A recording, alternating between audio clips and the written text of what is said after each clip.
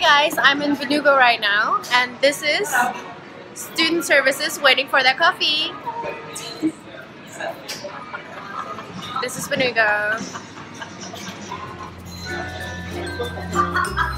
Hi